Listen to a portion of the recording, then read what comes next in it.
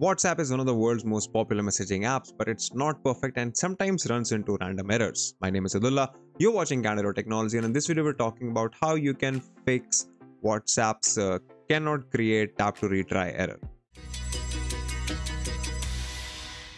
There are plenty of reasons why WhatsApp may not be able to create a group for you. For example, if you don't have an active internet connection like I do here,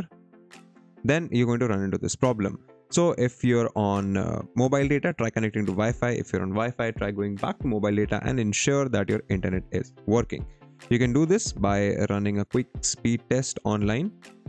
So as you can see, I have more than enough internet speed to be able to use WhatsApp without any problems at all and that should be working fine.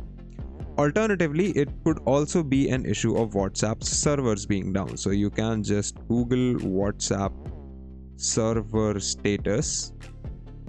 and you can check out websites like Downdetector or uh, site 24/7 to see if there are any server problems with whatsapp in which case this issue might also be happening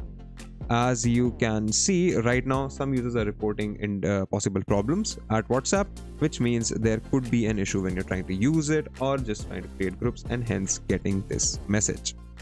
Another possible reason for this is that you might have blocked or have been blocked by the person you're trying to add in this group. Now you can't do anything about somebody who has blocked you, but you can go ahead and check your own block list by tapping the three buttons in the top left, heading over to settings, then privacy, then uh, scrolling down to blocked contacts and just run through this list to make sure uh, you have not blocked the person that you're trying to add to the list or group and uh, that's that. Once you've resolved these three uh, once you've gone through these three steps you should be able to get whatsapp up and running for you without any issues. If you like this video consider subscribing give us a thumbs up press the bell icon and tell us in the comments below what more such videos can we make for you. If you'd like to know more about tech visit our website candid.technology follow us on social media follow me on instagram or twitter and we'll see you in the next video